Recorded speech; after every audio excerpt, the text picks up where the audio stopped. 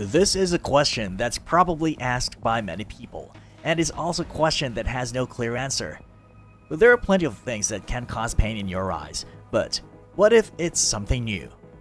What if you get the most painful thing in your eyes? If you've ever had a foreign body in your eye, then you know how painful it can be.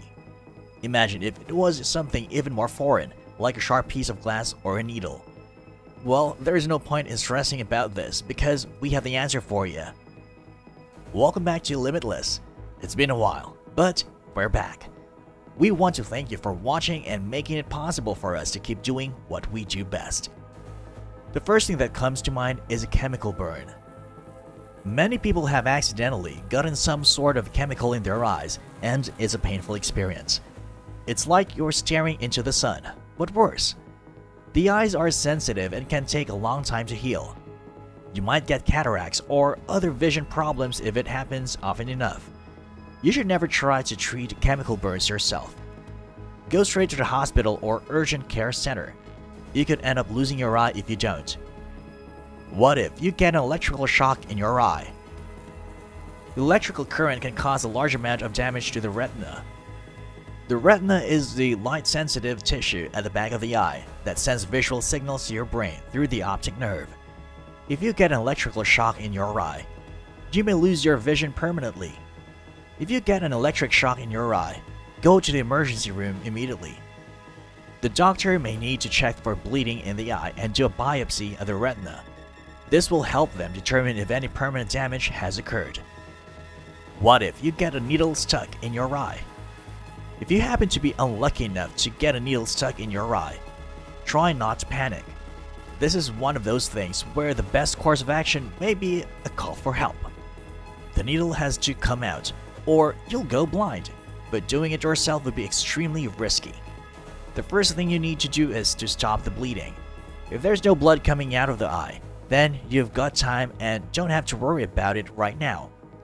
If there is blood coming out of the eye, then find something that will cover up your eye and press on it firmly until the bleeding stops. After that, look around for some kind of tweezers or sharp instrument that can cut through the needle easily. Once you have one, start looking around for where the tip of the needle is located inside your eyeball by feeling around with your fingers until it feels like there's something sticking into your eyeball. Press down on that spot very firmly with your fingers or thumb until the needle pops out like when pulling on a splinter from outside your skin area. If you don't have any tweezers or anything sharp, then use your fingers to dig around in your eye until you feel something like a needle sticking into it. Then, gently pull on that spot until the needle pops out like when pulling on a splinter from outside your skin area. What about blazing hot sand? If you've been to a beach, you know that sand is hot. Hot enough to burn your feet and hands. So what if you get some in your eye? The most common way for this to happen is when you are digging or playing in the sand and then rub into your eyes. This can happen even if you're wearing sunglasses because the sun rays can still heat up the sand. This can cause damage to your cornea as well as conjunctivitis. Luckily, this is fairly easy to treat. All you need is a cold compress and some artificial tears or saline solution. If you have access to a swimming pool, use the chlorine water to flush the sand out of your eyes. The chemical will kill any bacteria that might be on the sand and help prevent infection. If you don't have access to a swimming pool, rinse your eyes with fresh water as soon as possible. You should also talk with your doctor about getting an antibiotic drop just in case there's an infection in your eye. What if you get the scratch of a cat?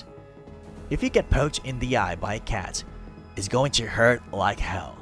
And it's probably not going to be very pleasant for the cat either. The scratch of a cat is one of those things that make you feel like you're going to die, and you probably won't even know what happened until after it's over.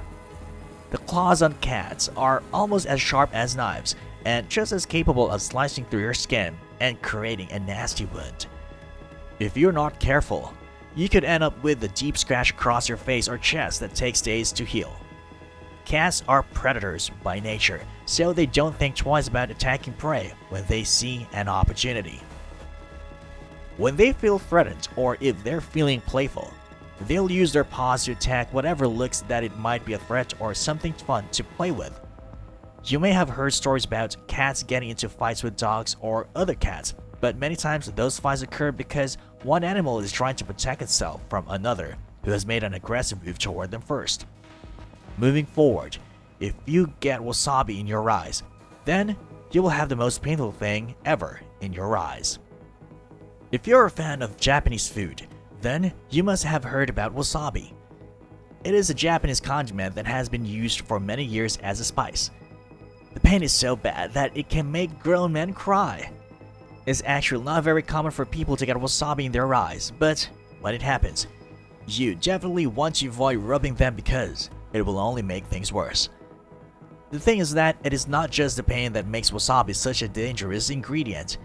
It is also very difficult to remove from your eyes once you get in there. If you rub your eyes after getting wasabi in them, then it will only make things worse by spreading the sauce around. But what if you do get it in your eyes? Here are some tips. Number 1. Don't rub your eyes. Number 2. Rinse with cold water for at least 10 minutes and use artificial tears if needed. And number 3. If you start feeling numbness or tingling around your mouth or face, seek medical attention immediately because this may be an allergic reaction. Eyesight is something that many of us take for granted, but if you damage your eyes or lose your eyes in any way, it can be very painful, not just for you but for everyone around you. So remember what we say and don't put these things in your eyes. If you have allergies to certain things like dust or pollen, wear sunglasses when outside in the sun because it will protect your eyes from being irritated by the sunlight as well as any allergens that are floating around. Always be careful with items like this, especially if you have small children that may not know that these things can hurt their eyes. That said, if you do get something stuck in your eye, don't panic and call 911. Well, that's it from this video. What do you think about these warnings? Have you also been in a situation of hurting your eyes with one of these painful things? Share your thoughts by commenting below. If you enjoyed this video, hit like and share this video with your friends to help spread awareness. Also, consider subscribing to our channel for more interesting videos every week.